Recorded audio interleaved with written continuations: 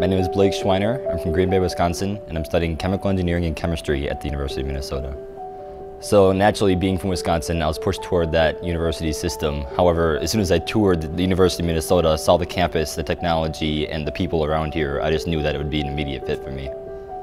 I don't really think that easy and chemical engineering fit in the same sentence together. Uh, it's a very difficult major, and I realized this coming in, but I knew that what would come out of it would be worth it completely. And the chemistry double major is not the most difficult to add on. It's kind of a natural fit when you think about it because chemical engineering already has such a high chemistry emphasis.